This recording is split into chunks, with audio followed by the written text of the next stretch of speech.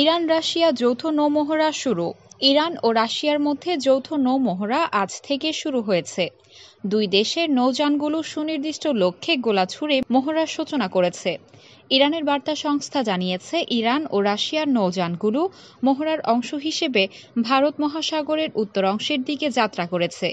এই সময় ইরানের তৈরি জামারান ডেস্ট্রয়ার বিভিন্ন ধরনের অস্ত্র ব্যবহার করে বিভিন্ন লক্ষ্যবস্তুতে আঘাত হেনেছে।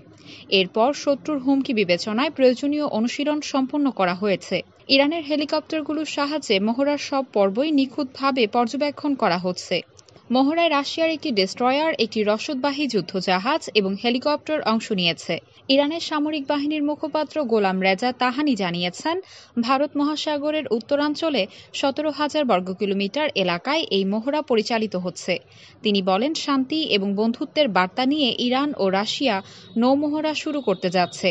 মহড়ার উদ্দেশ্য সম্পর্কে ইরানের সেনাবাহিনীর সমন্বয় বিষয়ক উপপ্রধান রিয়ার অ্যাডমিরাল হাবিবুল্লাহ সাইয়ারি আগেই জানিয়েছেন, সাগরে নিরাপত্তা প্রতিষ্ঠার লক্ষ্য নিয়ে এই মহড়া অনুষ্ঠিত হবে। ইরাকে তেরো তুর্কি নাগরিকের হত্যাকাণ্ড মার্কিন রাষ্ট্রদূতকে তলব করল আঙ্কারা। ইরাকের উত্তরাঞ্চলে বিচ্ছিন্নতাবাদী কুর্দি গেরিলা গোষ্ঠী পিকেকের হাতে তেরো তুর্কি নাগরিকের হত্যাকাণ্ডের জের ধরে আমেরিকার তীব্র সমালোচনা করেছেন তুরস্কের প্রেসিডেন্ট রজব তাইয়েব এরদোগান। একই সঙ্গে আঙ্কারায় নিযুক্ত মার্কিন রাষ্ট্রদূতকে তুরস্কের পররাষ্ট্র মন্ত্রণালয়ে তলব করা হয়েছে। মার্কিন রাষ্ট্রদূতকে তলব করে ওই তেরো জনের হত্যাকাণ্ডের ব্যাপারে ওয়াশিংটনের নীতি অবস্থানের বিরুদ্ধে কঠোরতম প্রতিবাদ জানানো হয়েছে। পিকেকের হাতে নিহত ব্যক্তিদের বেশিরভাগ তুরস্কের সেনাবাহিনী বা পুলিশ বাহিনীর সদস্য। তুরস্ক বলছে, পিকেকে গেরিলারা যে তেরো তুর্কি নাগরিককে অপহরণ করেছিল, ইরাকের উত্তরাঞ্চলে তুরস্কের সেনাবাহিনী তাদের কাছাকাছি পৌঁছার পর তাদেরকে হত্যা করা হয়। এদের বারো জনকে মাথায় গুলি করে ও একজনকে কাঁধে গুলি করে হত্যা করে পিকেকে বিদ্রোহীরা। কিন্তু পিকেকে দাবি করছে, উত্তর ইরাকে অবস্থিত তাদের অবস্থানে তুর্কি সেনাবাহিনীর বিমান হামলায় ওই তেরো জন নিহত হয়েছে। মার্কিন পররাষ্ট্র মন্ত্রণালয় এক বিবৃতিতে বলেছিল, পিকিকের হাতে তুর্কি নাগরিকদের হত্যাকাণ্ডের খবর সত্যি হয়ে থাকলে আমরা এ কাজের তীব্র নিন্দা জানাই। তুর্কি প্রেসিডেন্ট রজব তাইয়েব এরদোগান বলেছেন, আমেরিকার এই শর্তযুক্ত নিন্দা উপহাস ছাড়া আর কিছু নয়। তিনি আরও বলেন, মার্কিন সরকার, পিকেকে এবং ওয়াইপিজির মতো সন্ত্রাসী গোষ্ঠীগুলোর বিরুদ্ধে ব্যবস্থা নেওয়ার পরিবর্তে এসব গোষ্ঠীকে সমর্থন করছে। তুর্কি পররাষ্ট্রমন্ত্রী মেভলুদ কাভুসোগলো সন্ত্রাস বিরোধী যুদ্ধের দাবিদার দেশগুলোর সমালোচনা করে বলেছেন, এসব দেশ কিন্তু যদি ইত্যাদি পরিভাষা ব্যবহার করে বিষয়টিকে গুরুত্বহীন করে ফেলছে। তুরস্কের প্রেসিডেন্ট রজব তাইয়েব এরদোগান হুঁশিয়ারি উচ্চারণ করে বলেছেন, তার দেশের সেনাবাহিনী ইরাকের অভ্যন্তরে কুর্দি বিচ্ছিন্নতাবাদী গোষ্ঠীগুলোর বিরুদ্ধে অভিযান চালিয়ে যাবে। আসাদকে হত্যা করতে চেয়েছিলেন ট্রাম্প। যুক্তরাষ্ট্রের সাবেক প্রেসিডেন্ট ডোনাল্ড ট্রাম্প, সিরিয়ার ক্ষমতাসীন প্রেসিডেন্ট বাশার আল আসাদকে দু হাজার সতেরো সালে হত্যার ইচ্ছা প্রকাশ করেন বলে দাবি করেছেন ট্রাম্পের সাবেক এক উপদেষ্টা। ট্রাম্পের সাবেক সহকারী নিরাপত্তা উপদেষ্টা কেটি ম্যাকফারল্যান্ড সংবাদ মাধ্যম বিবিসির এক ডকুমেন্টারির জন্য সম্প্রতি দেয়া এক সাক্ষাৎকারে বলেন, সিরিয়ায় সাধারণ মানুষের বিরুদ্ধে সারিন গ্যাস হামলার চিত্র দেখে ট্রাম্প আসাদকে সরিয়ে দেওয়ার কথা জোর দিয়ে বলেন। ম্যাকফারল্যান্ড বলেন, ওই সময় তিনি ট্রাম্পকে বলেন, আপনি এটি করতে পারেন না। তখন ট্রাম্প তাকে জিজ্ঞাসা করেন, কেন তিনি ওই কাজ করতে পারবেন না? ম্যাকফারল্যান্ড তখন তাকে জবাব দেন, কারণ এটি যুদ্ধ সৃষ্টি করবে। দু হাজার সতেরো সালে এপ্রিলে পশ্চিম সিরিয়ার খান শেইখুন শহরে আসাদ বাহিনী রাসায়নিক সারিন গ্যাস হামলা চালায়। ওই হামলায় অন্তত নব্বই জন নিহত হয়। ম্যাকফারল্যান্ড বলেন, আমি জানতাম ট্রাম্প কোনো না কোনোভাবে আসাদকে শাস্তি দিতে চেয়েছিলেন। এবং তাকে সহজে ছেড়ে দিতে চাননি। সিরিয়া ও রাশিয়া হামলার সাথে আসাদ সরকারের সংশ্লিষ্টতা অস্বীকার করে।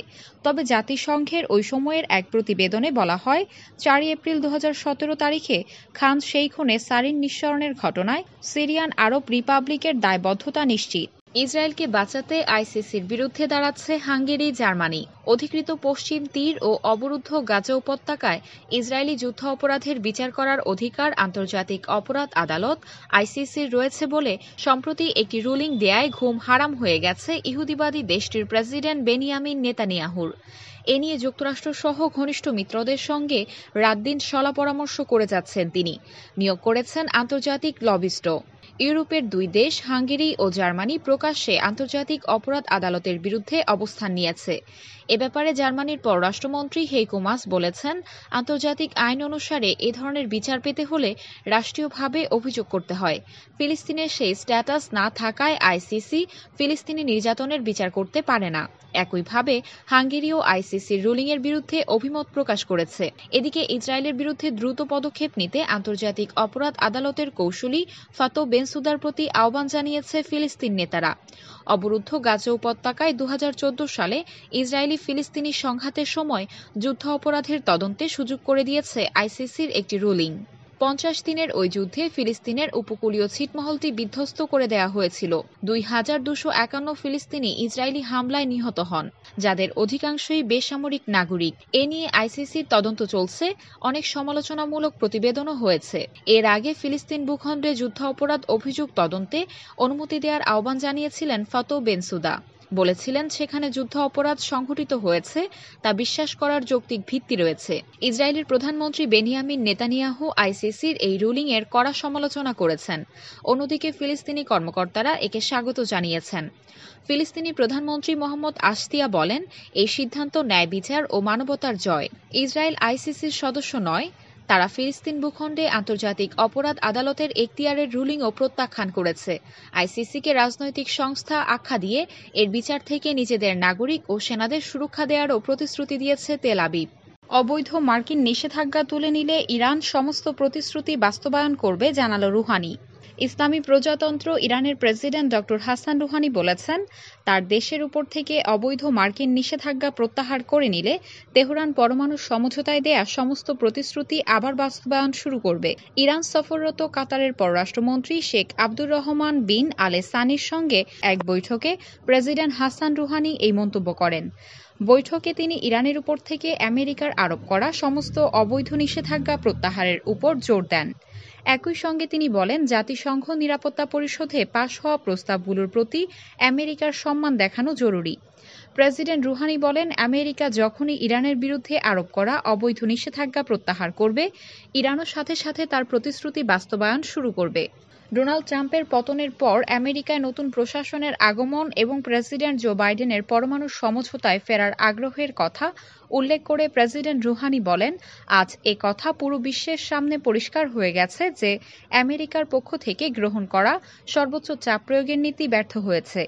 নতুন প্রশাসনের সামনে এখন দুটি পথ খোলা। তারা নতুন দৃষ্টিভঙ্গি গ্রহণ করবে, নাকি ট্রাম্প প্রশাসনের ব্যর্থ পথ অনুসরণ করবে, সেটা তাদেরকে বেছে নিতে হবে। আইনি ঝামেলা পিছু ছাড়ছে না ট্রাম্পকে। নতুন করে আইনি ঝামেলায় পড়তে যাচ্ছেন যুক্তরাষ্ট্রের সাবেক প্রেসিডেন্ট ডোনাল্ড ট্রাম্প। ইতিমধ্যে জর্জিয়া অঙ্গরাজ্যে তার বিরুদ্ধে তদন্ত শুরু হয়েছে। সেখানে নির্বাচন কর্মকর্তাকে ফোন করে ভোটের ফল পাল্টে দেওয়ার যে নির্দেশ ট্রাম্প দিয়েছিলেন, সেই অভিযোগের তদন্ত এখন গতি পাচ্ছে। নির্বাচনের ফল পাল্টে দেওয়ার জন্য কোনো নির্দেশ বা চেষ্টার সঙ্গে জড়িত কোনো ব্যক্তির সামাজিক বা অন্য কোনো অবস্থান বিবেচনা না করেই মামলা পরিচালিত হবে। মার্চের মধ্যেই জর্জিয়ার তদন্তের ফল পাওয়া যাবে বলে ধারণা করা হচ্ছে। নিউ ইয়র্কে আগে থেকেই চলমান অপরাধ তদন্ত নড়াচড়া শুরু করেছে। এছাড়া তার বিরুদ্ধে একাধিক নারীর মামলা ঝুলে আছে। নিউ ইয়র্কে ডোনাল্ড ট্রাম্পের ব্যবসায়িক লেনদেন কর ফাঁকি দেওয়ার জন্য হিসাব বিবরণীতে গড়মিলের তদন্ত চলছে। অভিশংসন আদালতে অব্যাহতি পেলেও ওয়াশিংটন ডিসির স্থানীয় আইনে ট্রাম্প অভিযুক্ত হতে পারেন। ওয়াশিংটন ডিসির অ্যাটর্নি জেনারেল কার্ল রেসাইন সতর্ক করে বলেন, ফেডারেল তদন্তে সাবেক প্রেসিডেন্ট স্থানীয় আইনে অভিযুক্ত হতে পারেন। এছাড়া ট্রাম্প ক্যাপিটালের দাঙ্গা উস্কে দিয়েছিলেন এবং দোষী সাব্যস্ত না হলে তিনি ফের এমনটি ঘটাতে পারেন বলে সতর্ক করে দিয়েছেন মার্কিন কংগ্রেসের ডেমোক্রেট প্রতিনিধিরা।